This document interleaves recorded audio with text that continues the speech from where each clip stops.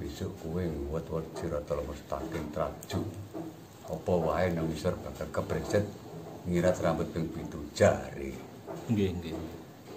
tapi kan ya sapa sing ngalami tembung rambut iku ngeram barang sing lembut. Jadi rambut kedudukannya rambut nanti panggonane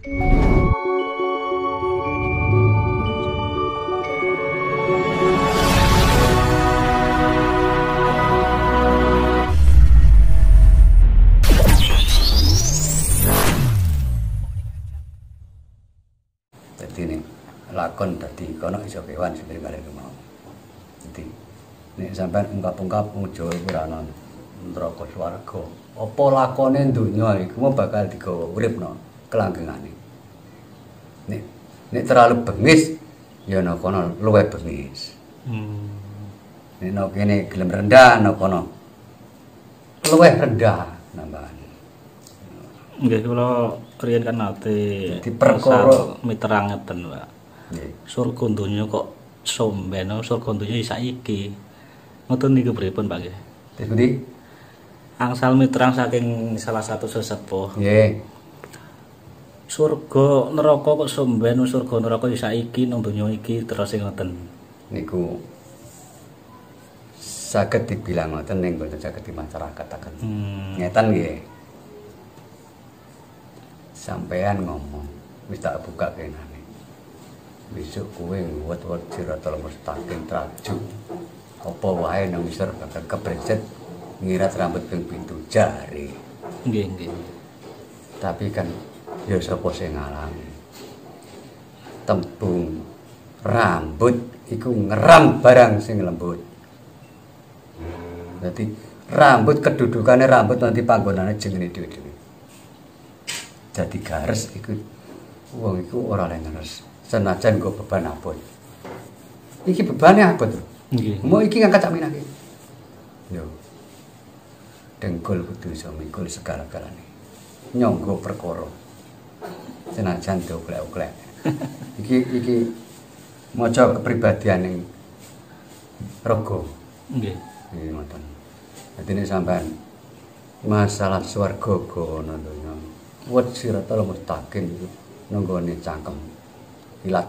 Nggih. diwolak-walik. Jadi ora kok swarga kok tindeni gak. Swarga neraka ku prilakune iku bakal tinemu digawa. Jadi ngono ae. Jadi swarga di antara no donya, di antara no kelanggengan iku mungkin ana berselisih. Muga nek duwe sirik ya nemen sirike nang kono. Nek gak dibenahi saiki lho ngono. Hmm. Tapi ini disebut Masuk akal, sampean iku umpama. Iki ngomong tapi sampean rekam umpama ana wong poso Ramadan. Iki wis tanggal 20 ngedepi Lailatul Qadar. Sampean krungu? Nggih. ah. Balik meneh kita pentak sering pentak Pak Lailatul Qadar iku bendina iki ana swarga. Yo. Ana. yo ngono ae tapi ora kok ngenteni besok tok saiki aja. Ana nantinya seneng iki wis swarga. Nggih. ana terkodar sampean mergawe apa? Tekun mantep hasil. Iku lha terkodar ora ono ngerteni lha terkodar sampean darane wong nyesal iku sampean pikiran seneng. Lho lha terkodar iki sampean iki mudal napa? Niku napa?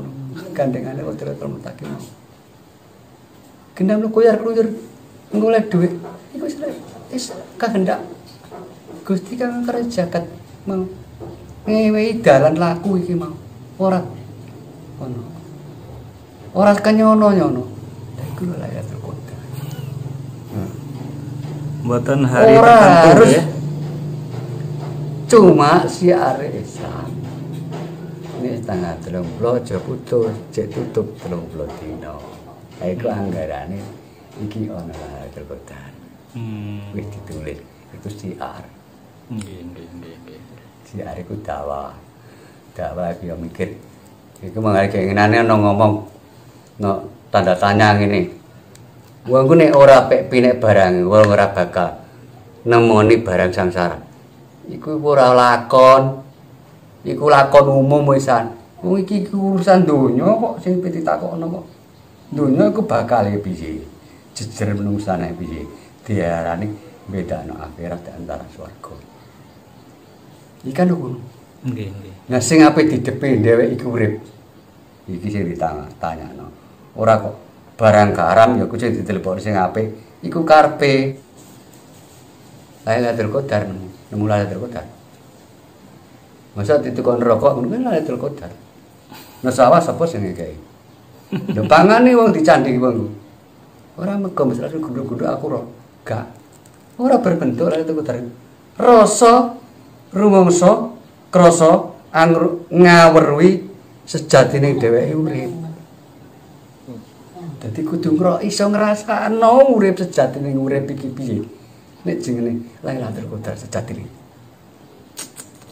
Coba sampean. Sing ngono wae. Nggih. Aja sing durung. Dipentelengi bocah wayahe wiritan, wayahe semedi. Neng ning kono njaba jere ndelok Lailatul Qadar rembulane. Tapi bentuke ora sik Gusti Allah. Iku gak salah. Mau temurune Lailatul Qadar iku wong sing tekun sering ngabdi marang Allah taala. Ora tambah dikon metu ndelok Lailatul Qadar. Ya omong-omongan rokokan rata ora mikir neng ning ora nyawiji. Lah ing kono lho ngawuri wujud bentuk sinaren donya. Lah iku nek dipentelengi sinaren donya ku jero iku iso mudal aneh-aneh. Nyenengno pikir lah iku iku akale Gusti kang ben kembali.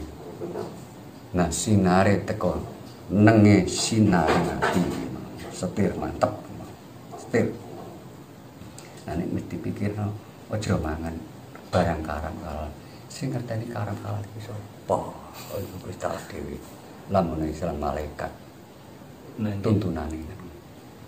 Dadi dheweke iki Leres. rasa rumangsa lan krasa iku wonge dhewe sing ngerti.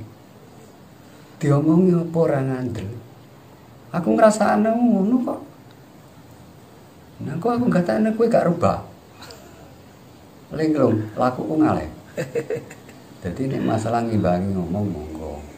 Tapi sejatine lakon iku tetep nutupi babagan hawa songo. Neng ning ning eling lan waspada. Nembe saged padang ya. Nggih, sinaring ati iku liwat teka padangane manik eh sita iki didepukno nang ati ki munggah. Ngene manik. Manik sita manik remeng ora ana kang benter kejepuk. Manik ingsun. Krana Gusti kang perjagat. Dadi peparing ngene iki peparing. Ora kena takoni wekku. Dijikik setok ya karek setok. Jikik apa-apa karek sing duwe.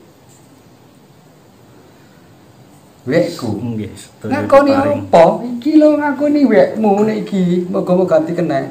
Iki iki gak kena mau ganti ganti rubah. Zat ini tadi krasa angrasa rumangsa angrasakake.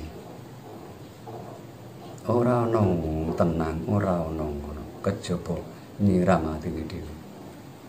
Terus enten keterangan masalah keterangan tahun-tahun iku aja. Hmm, ora gathuk kedawan